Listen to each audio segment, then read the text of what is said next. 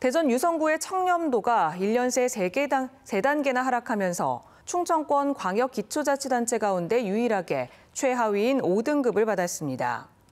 국민권익위원회가 발표한 청렴도 측정 결과 대전시와 충남도는 2등급, 세종시는 4등급을 받았고 대전 5개 자치구의 경우 대덕구와 동구, 중구가 2등급, 서구가 4등급으로 평가됐습니다.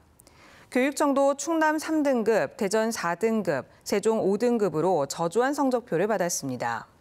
권유기는 부동산 이슈가 컸던 만큼 이번 평가에서 직무상 비밀과 미공개 정보를 이용한 공직자의 사익 추구, 공직자의 이해 충돌 상황 등을 새로 반영했다고 밝혔습니다.